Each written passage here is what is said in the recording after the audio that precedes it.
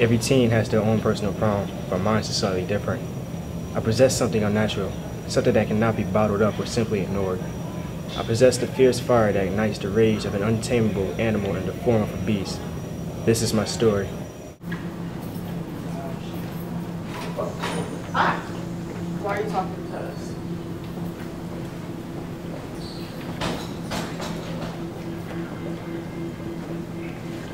Thank you.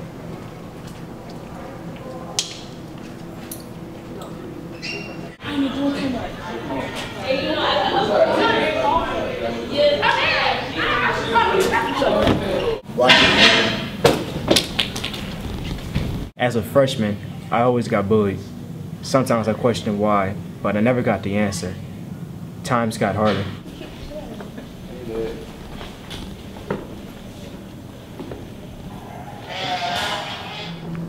Hello? Yeah, Brian tried to talk to me. That was so funny, right? Who did he think he is that he could talk to me, right?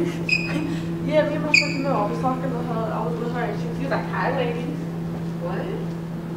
For real, no, serious.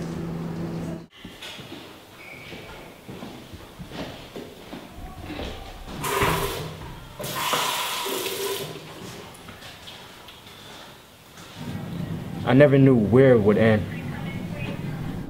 That's good, bud? What's up? Yo, why are we always trying to run? Come here. Come Get up, get up, get up, get up, get up.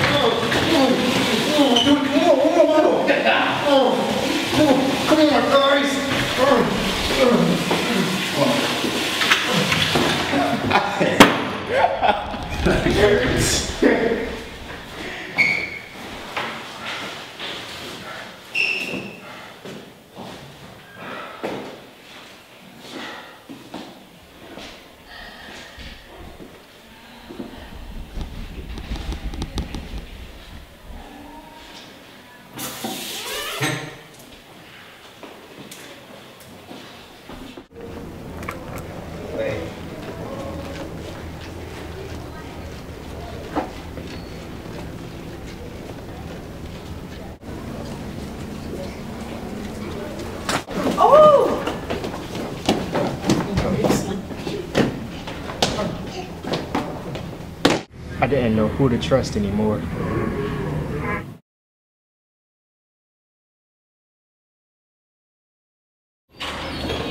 It seemed like wherever I went, trouble always found me.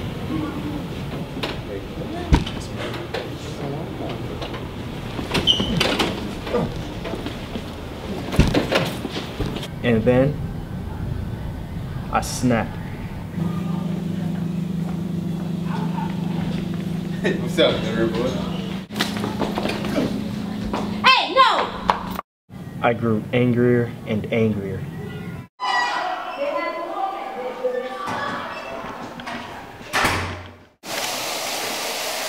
should flush your beer down the floor like I did last time. Lucky I'm late to class.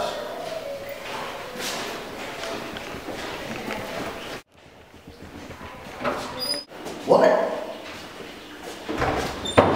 Today we're gonna talk about bullying, basically. Bullying is not a good thing. Like there's so many different type of bullying, like cyberbullying, verbal bullying, mental. It and seems as though they just couldn't I get enough. they're all not good at all. Even though it may Hey, help buddy. you feel What's good, better. nerd boy? Even other people feel bad. Where you going? at all. And also, What? What? you go to Get it. jail, get in school, Yo, you lucky you can't bro. from school, or possibly suspended, which we all wouldn't want to see happen. Um, also, um, also, what are the different like? Like if you see, like if you witness somebody getting bullied, don't just stay there. Like speak up. Go tell somebody so it can stop. Yeah, that that's a good idea. Don't always stand up to a bully. Like, show them and make them think. Like help them to help them think that bullying is not right at all. And have them do the right thing. So if you are a bully or someone who's being bullied, just try to talk to each other. Speak try up. to yeah speak speak up and like just a bully's talk to someone. Like maybe the person that you're bullying because you may be going through the same thing they're going through, and they possibly can help you in major ways that you probably cannot stand. Do not take your anger out on them because the problems that you have going on home or anywhere else possibly. Alright. I'm gonna talk about peer pressure and like what it can cause. Like peer pressure is basically when like you have friends and they want you to do what they're doing. So like they pressure you into doing stupid stuff like I mean smoking drugs or drinking stuff like that. And that, that can get you in a lot of trouble. So don't follow your friends. Let's talk about information problems today. Because someone may be bullying you verbally, cyberly, or any type of bullying you, you should not retaliate such in a matter of any type of violence. Because it will not help you get over anything. You're going to feel the same way you did. The way you should actually handle these things are go to an adult, a principal, your principal, a teacher, your parent most importantly they all can help you out instead of using all right patience.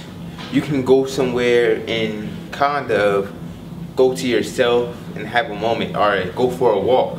Or maybe possibly if you're at home go outside get a little air help you cool down a little bit so you can think to yourself before you do something stupid which is a quick reaction towards which I was saying earlier anger management which like you already got the idea go be a parent talk to your teacher, whatever. But most important, again, you can also talk to a friend, which I did not state the first time, and you can actually have a communication because they may or may not be able to help you in the situation you're in. But most likely, someone of your type of in your age group are most likely to be able to help you out. That's it.